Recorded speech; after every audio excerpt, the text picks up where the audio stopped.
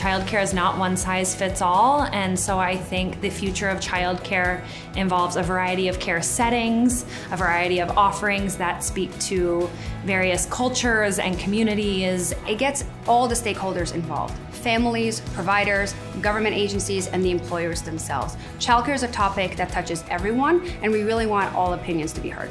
And What's so special about this summit is that there's so many different people from all across the country who are innovating in childcare in their own ways.